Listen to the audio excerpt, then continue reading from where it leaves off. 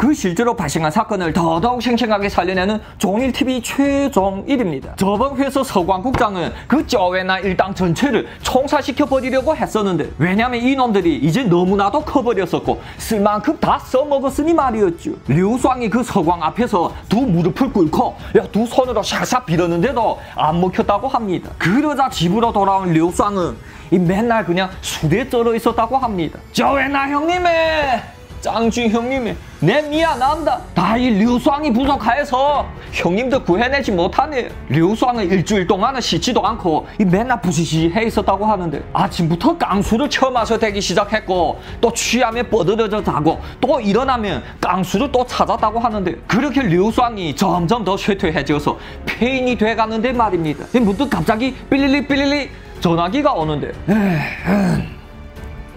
왜? 뉘기야 그러자 저쪽에서는. 안녕하시오? 혹시 류수왕 아우요? 네요 네 네 네 왕청이 류수왕은 아직 술이 덜 깨 있는데 왕청? 뭐 왕청 같은 소리라고 했니? 어느 왕청인데? 에? 그 대체 무슨 일인데? 류수왕은 요즘 의형제들이 다 죽는다고 생각하니 신경이 아주 곤두서 있는데 하지만 저쪽에서는 그 일주일 전에 백마 나이트에서 일어난 사건 기억나오? 내 그때 그 왕청이 그러자 어어어어 어, 니야 뭔데? 아니 니까지 이게 또 뭘 볼 일이 있어서 내한테 전화질이야 전화질이 에? 그러자 왕청은 어이없어 하는데 이놈이 그날에는 엄청 삭삭하고 괜찮은 놈 같아 보이는데 오늘은 왜 이러냐고요? 다름이 아니라 그날 내 큰 신세를 졌지요 그래서 이 한턱 거하게 쏘려고 그러는 거지. 그리고 우리 좀 친하게 지냅시다 류수왕 씨. 뭐? 지, 친하게 지내자고 갑자기 짜그랑 하고 유리병이 깨지는 소리가 들려오는 게 아니겠습니까? 진하게 개뿔. 야 썩 꺼져라. 유투 띠띠띠띠 에? 류수왕 이놈이 그새 욕지거리를 막 퍼붓더니 전화기를 확 끊어버리는 게 아니겠습니까? 그럼 이러할 때 웬만한 사람이 없었으면 뭐가 그리 잘났어? 그뭐 입에다가 걸레를 물고 다니나? 됐다마 내 돈이나 굽고 더 좋지 뭐 하며 무시하겠죠. 하지만 이 상류 사회에서 노는 놈들은 어떻게 생각하는지 아세요? 이 놈이 왜 갑자기 욕을 하는 거지? 류수왕 저 놈이 저러한 스타일이 아니었는데? 혹시 그 외나 일당한테 무슨 일이라도 생긴 거 아니야? 왕청은 다시 띠띠띠띠 하고 누르는데 왜 류수왕아 너 제대로 함 얘기해봐라. 그 외나한테 혹시 무슨 일이라도 생겼니? 그러자 말입니다. 들립니다. 저쪽에서는 와, 엉엉엉 하고 류수왕의 울음소리가 울려 퍼지는 게 아니겠습니까? 이게 다 니놈 때문이다 이놈아. 너를 구해주느라고 내 외나 형님이 이제 총살 맞게 생겼다 이놈아. 뭐? 그러자 왕청은 순간 정색해 나는데 어디로 잡혀 들어가는데 에? 류수왕아 거기가 어디냐고. 그러자 류수왕이 또 고래고래 소리 지르는데 어디로 잡혀 들어갔으면 또 어째? 내 이 하얼빈시 부경찰국장이 운전기사도 이 못 살려내는 걸 니까지 있게 니 얘기해봐라. 니까지 있게 대체 뭔데? 응?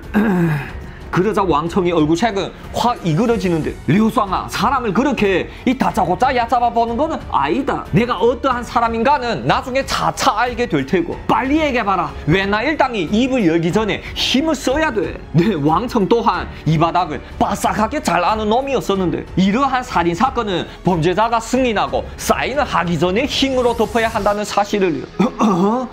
이놈 이거 대체 뭐지? 사실 류수왕 또한 왕청을 잘 알지는 못했었기에 뭐가 뭔지 모르잖아요. 설마 이놈이 뭐 하얼빈시 시장이 뭐라도 되나? 그러면 이 왜나는 구해주는데 희망이 생기는 게 아니겠습니까? 류수왕은 왕청한테 하얼빈시 공항국이라고 알려주고 발떠러 일어나서는 푹 실수를 하였다고 합니다. 일주일 동안이나 안 씻은 몰골인데 어떡합니까? 그리고는 부랴부랴 자신이 벤츠를 잡아타고 시공항국에 도착을 하였다고 하는데 근데 이 왕청은 계속하여 소식이 없었고 배가 꼬르륵 꼬르륵 하여서 직원 식당에서 밥을 먹었다고 합니다. 일주일 동안 한 끼라도 제대로 못 처먹었으니 오죽하겠습니까? 하지만 이때 전화가 삐리리 삐리리 울리는데 왜? 류수왕이니? 너 지금 어디야? 네 이건 바로 왕청이었었는데 지금 직원 식당에서 밥을 먹고 있다고 알려 알려주는데 음, 이러자 먼저 왜나 일단부터 구해내고 내 맛있는 거 사줄게 너 여기 여기 국장실로 올라오라 뭐 국, 국장실? 어느 국장실? 이러한 시공항국에는 국장이 거의 10명이나 되는데 여기? 여기 10층의 국장실이다 그 퍼뜩 올라오나 그러자 뭐? 뻥을 치고 자빠졌네. 10층의 국장실이라고. 내도 이제 한 번도 못 올라가 본 하얼빈시 넘버원 국장실로 올라오라고? 너 저번에도 보니 정신이 살짝 나쁜 것 같던데 진짜 병원으로 가봐야 되는 거 아니야? 시공항국은 총 10층으로 되어 있었는데 10층에는 이 넘버원이 왕국장이 사무실이 있었다고 합니다. 그 난다긴다 하던 서광국장도 8층에 밖에 오르지 못하였었고 8, 9층에 부경찰국장들이 모여 있다고 합니다. 매 층마다 전문 경찰들이 지키고 있어서 그 웬만한 신분의 웬만한 일이 아니면 그 위층으로 올라가 보는 건 불가능하다고 합니다. 하참 이놈이 속것만 살았어? 이러자 내 그러면 이 왕국장이 비서를 너한테로 보낼게. 그러면 너 올라올 수 있겠지. 뭐, 뭔 소리지? 진짜란 말인가? 류수왕은 어리둥절해 하면서도 국밥을 와자와자 먹는데. 근데 어? 저 정말로 그 왕국장이 비서가 친히 내려온 게 아니겠습니까? 비, 비서님이 어떻게 그러자 이 비서라 놈은 아주 환하게 웃으면서 그 류수왕과 악수까지 청하는 게 아니겠습니까? 류수왕아 너가 맨날 서광국장이 차를 운전해 줄 때 어, 네 놈이 뭔가 백이 있긴 있나 하고 생각했었거든. 근데 하... 너그 어르신이랑 친했었냐? 대단하다, 이. 어? 그 앞으로 우리 친하게 지내자. 류수왕아, 잘 부탁드린다. 이 왕국장이 비서라 놈은 평상시에 인사를 올려도 아는 채도 안 하던 콧대 높은 놈이었었는데 말이죠. 그렇게 류수왕은 어리둥절한 채로 10층으로 올라가는데 이 10층 국장실 문이 척 열리자 말입니다. 와! 여, 여기가 바로 그 하얼빈 경찰계통 넘버원이 사무실이야? 서광은 부경찰국장이지만 요 한계 계급이 차이가 이렇게도 하늘과 땅 차이였다고 합니다. 근데 그 커다란 사무실 안에 이 소파들이 쫙 모여 있는데 말입니다. 딱 봐도 요 제일 한가운데 제일 커다란 소파는 상좌인데 이 왕청이 척 앉아 있었고 요 넘버원 경찰국장은 곁에 자그마한 소파에 앉아 있는 게 아니겠습니까? 뭐 뭐야?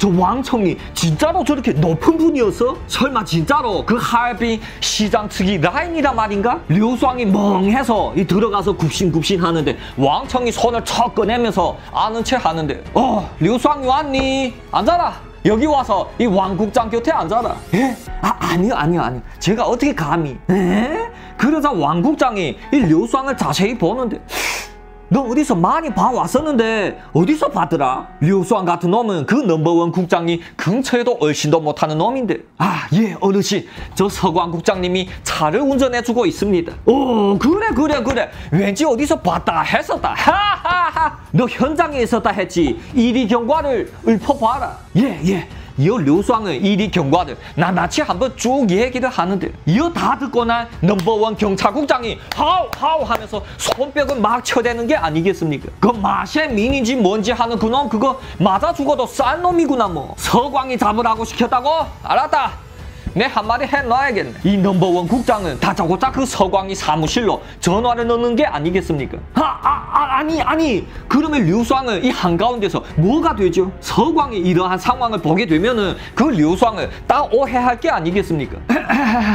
이건 아닌데 하지만 류수왕이 어떻게 이러한 자리에서 찍소리나 내겠습니까? 하여 똥마려운 강아지 마냥 요 안절부절 못하며 앉아있는데 문이 똑똑 두드리는데 국장님 총성! 서광이 왔습니다. 네? 류수왕은 서광을 안 지 10년은 되었지만 서광이 이처럼 헤거리는 걸 처음 봤다고 하는데 하지만 말입니다. 어?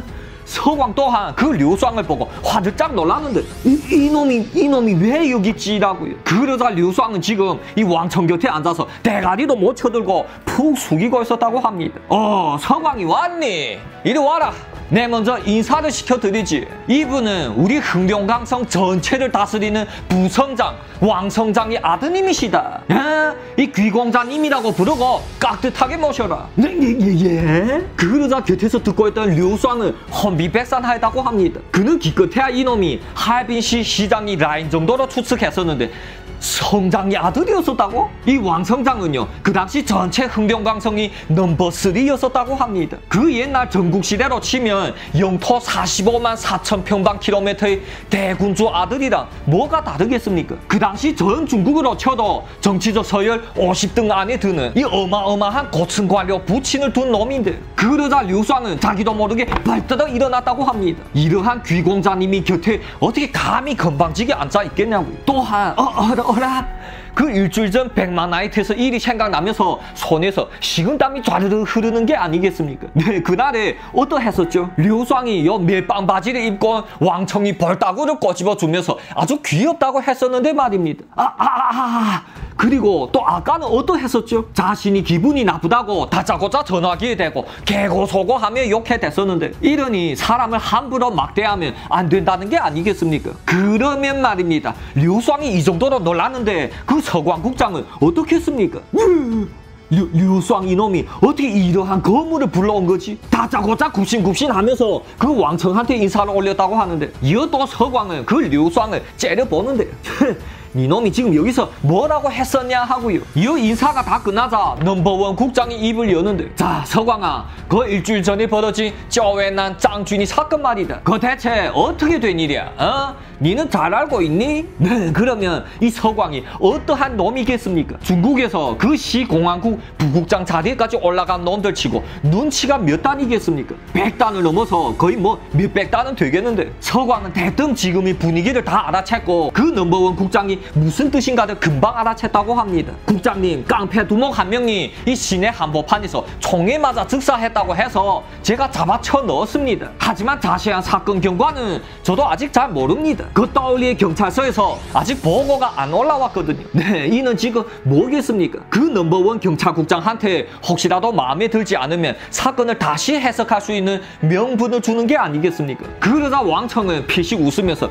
머리를 끄덕끄덕이는데 그래 그래 그래 너는 아직 뭘 잘 모르겠는데 말이다. 우리 이 귀공자님께서 직접 그 현장에 있었다지 뭐냐. 아니 이만큼 확실한 증언과 증인이 또 어디 있겠니? 맞니 아이 맞니 서광아. 그러다 서광은 또 굽신굽신 거리면서 맞다고 하는데 우리 귀하신 귀공자 어르신이 이 술을 마시고 있는데 그럼 뭐 마, 마음은 대가리 그 깡패 조 폭놈들이 이 시비를 걸어왔다지 뭐니. 감히 우리 나란 일에 바쁘신 대어르신이 귀공자님께 말이다. 어? 그러다 곁에서 왕청도 기분이 좋아서 머리를 끄덕끄덕이는데 근데 이 쳐 죽일 놈이 깡패 건달 놈들이 우리 귀공자님께 맥주병으로 깨부수고 칼로 찍었다고 하던데 이게 말이 되냐 이게? 근데 그것도 성타지 않아서 뭐 귀공자 어르신이 이 귀하신 다리까지 분질러 버리겠다고?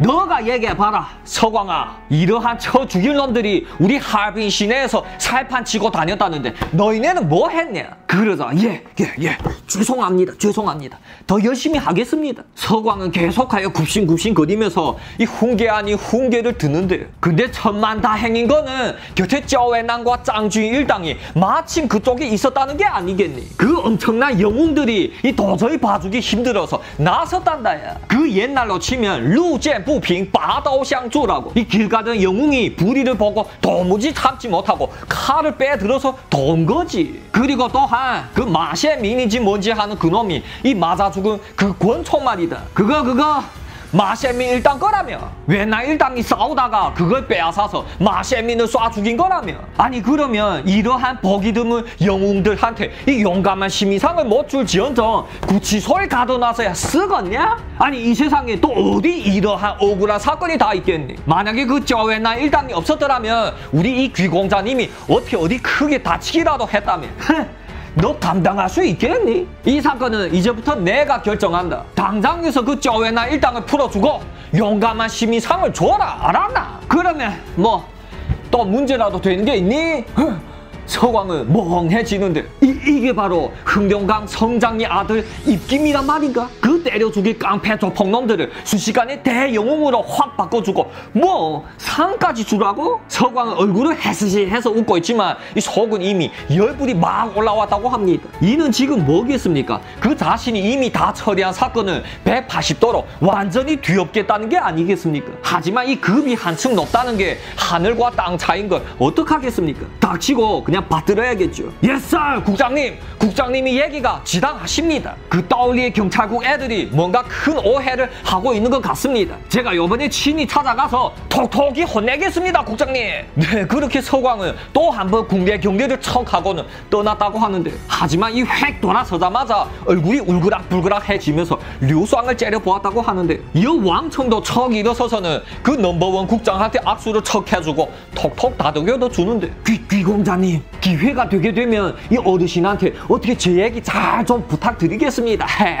그 러자 왕청은 멋있게 끄덕끄덕여 주고는 류쌍을 바라보는데 류쌍아 예, 예, 예, 어르신. 네, 보셨나요? 이제 류쌍이 왕청을 어르신이라고 부르는데, 웬난이 풀려나오게 되면은 전화해라. 날 구해준 것도 내 감사를 단단히 드리고, 또 너희네랑 친하게 지내고 싶어서 그런다. 네, 네, 어르신. 여부가 있겠습니까? 그렇게 왕청이 멋있게 나가자, 어라, 이 하얼빈시 넘버원 경찰국장이 그 류쌍한테 악수를 청하는 게 아니겠습니까? 아이고, 어, 어르신. 류쌍은 두 손으로 꼭 잡고 받드는데, 이 젊은 친구가 아주 라인을 잘 탔어. 에? 잘해라. 내가 보기엔 이놈이 아주 크게 될 놈이요. 왕청이 그 외날 일당과 친하자고 하자 이 넘버원 경찰국장 또한 이 정도로 멘트를 줬었다고 하는데 네 이것이 바로 상류층이 정계라고 합니다. 그 지위가 높은 고층 관료들이 이 무심코든지 말 한마디 한마디 때문에 이 여러 사람들이 운명을 좌지우지한다고 합니다. 그러면 말입니다. 이미 한번 살짝 틀어진 류쌍과 서광국장 사이는 어떻게 될까요? 또한 그 자신들을 버리려 한 서광 국장을 감옥에서 풀려난 쪼웨나 일당은 어떻게 처리할까요? 다음 회에 계속하겠습니다. 재밌게 시청하셨으면 구독과 좋아요 쾅쾅 박아주시고요. 다음 회에 또 짜이지